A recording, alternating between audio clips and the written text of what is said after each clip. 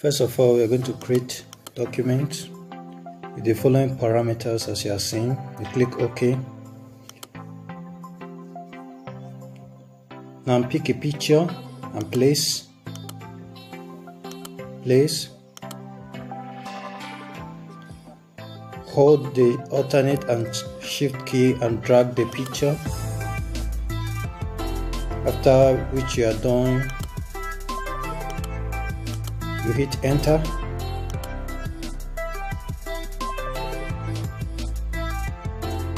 The next step will be convert to smart objects then delete the background duplicate the background with ctrl plus j and change to color dodge. Now we're going to invert then you, you add a clipping mask?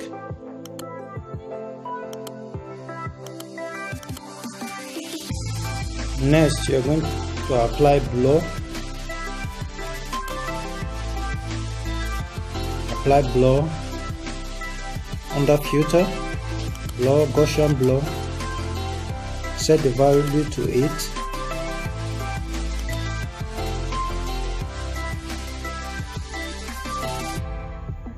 now you change the picture to black and white. Apply black and white. So that the effect will be in black and white. Next thing we're going to apply levels. For adding details. Next duplicate this layer one more time. Drag it all up duplicate it three more times by pressing ctrl plus j three times. Hide the rest. Pick the first one. Go to filter gallery. Under sketch choose graphic pen. The following parameters 15 a stroke length and light and dark balance 50 click ok. Now change to multiply. Reduce the opacity. I'm using 10 I'm select the second layer and uh, hide it go to filter gallery. Choose charcoal with 5585 as the parameters. Click ok. Choose the blending mode. Choose multiply. Reduce the opacity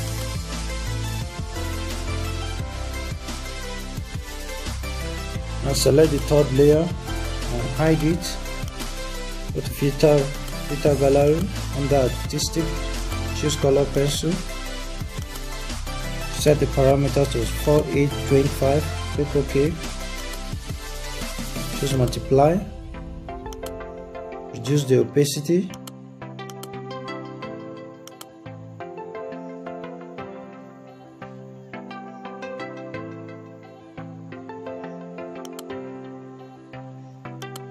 you are getting somewhere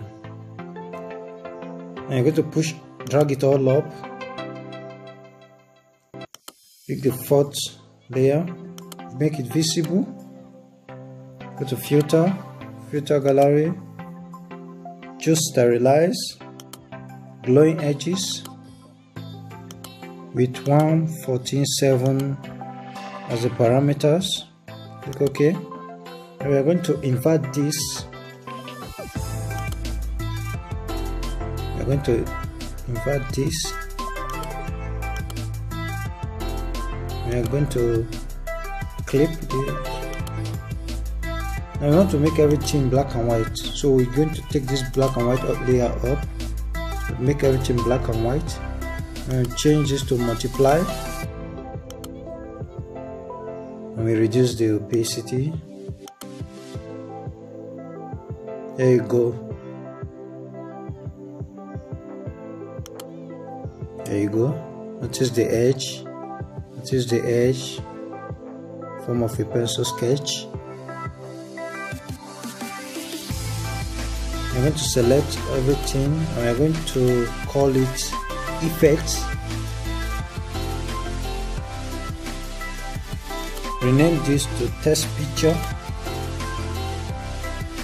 It means any picture you have you can test there by double clicking and placing it there the pencils drawing effect will be applied automatically. Now you want to test another picture now? You're going to go to file place picture get a picture. As normal you're going to hold or press alternate and the shift key and you're going to drag after which you are done you are going to hit enter and press ctrl s to update the photoshop document. This tutorial is all about transforming a picture into a pencil drawing sketch effect. You can see. This is what we have. You can choose to adjust levels if you want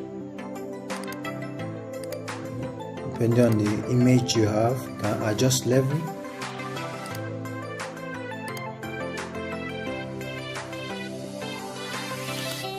I'm going back to the, our default image usual Ctrl S to save to update the document.